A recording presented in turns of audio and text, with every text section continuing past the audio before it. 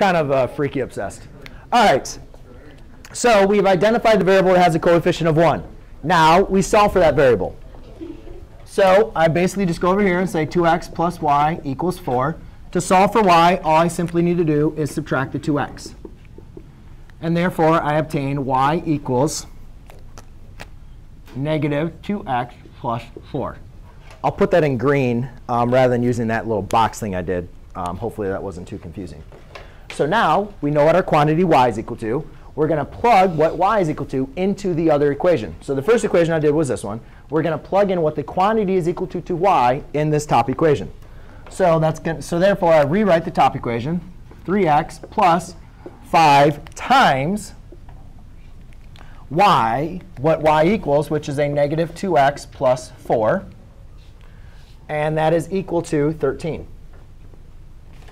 Now I simplify and solve. Apply distributive property. 3x minus 10x plus 20 equals 13. Um, 3x minus 10x is going to be a negative 7x.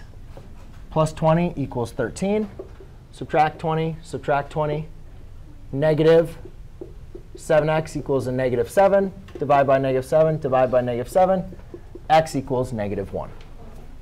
Kind of going through that pretty quickly.